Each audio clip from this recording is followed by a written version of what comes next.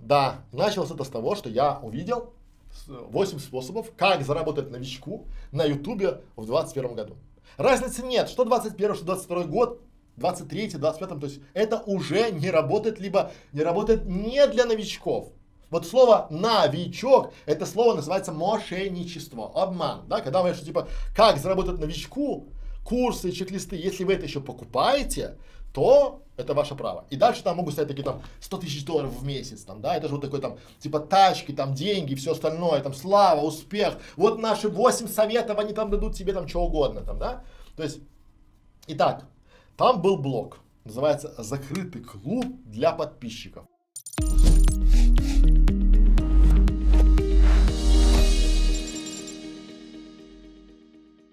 Это вообще бомба.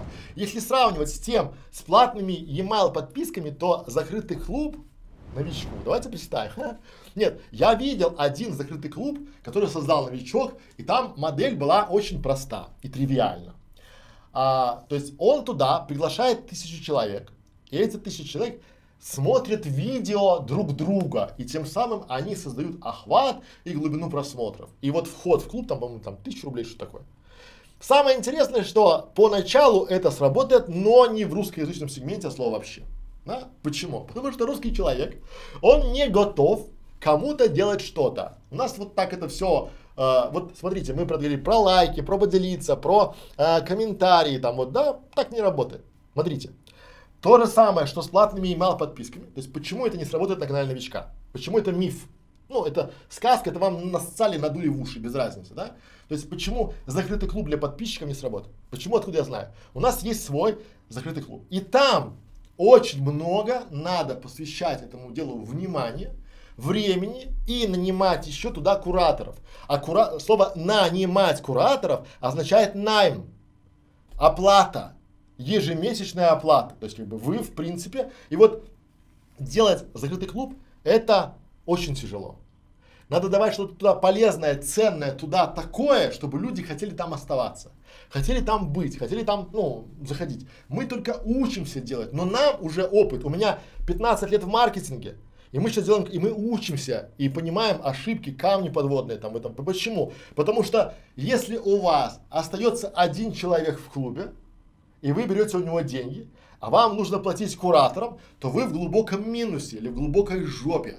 А это такой бизнес в интернете, что тут можно один раз обосраться и всю жизнь будете подтираться. Извините за прямоту, это так. Так вот, когда вам объясняют, а что тут такого? Вы же новичок на канале. Ваш канал можно монетизировать за счет того, что вы сделаете закрытый клуб для подписчиков. То есть соберете аудиторию, и вы их соберете в некое комьюнити закрытое. И будете их вот а, как это там развлекать, давать полезный контент, что-то интересное, ценное, что вы не даете в открытый клуб. А что же вы такого можете дать тем людям в клубе закрытом, что вы прям они, смотрите, за что люди будут вам платить?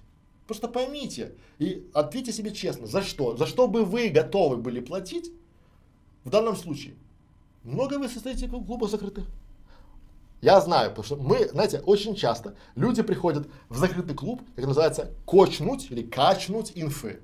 И вот удержать, собрать, мотивировать, доводить до результата – это очень тяжелое действие. И ведение клуба – это, ну, скажем, такая совсем-совсем история. Командная история. Когда этот способ сработает на вашем канале?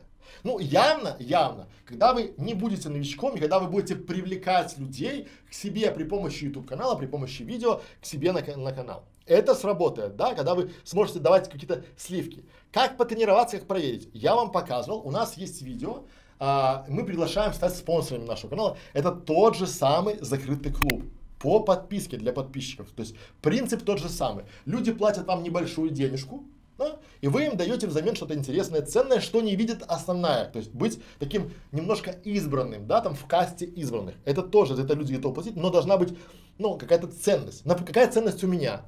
Я консультация 2 часа, там 20 тысяч рублей. А я могу отвечать на вопросы в клубе или давать видео в спонсорам канала, которые я не даю в открытый доступ. То есть я какой-то информацией делюсь, это ценность. То есть люди могут, приходя ко мне а, в закрытый клуб, получать мою экспертизу, экспертизу моей команды, советы и комментарии, которые не получают их конкуренты. Это ценность. Если вы сможете сформировать такую ценность у себя, то, конечно, вы сделаете себе закрытый клуб для подписчиков. Все остальное лотерея. Пора барабан.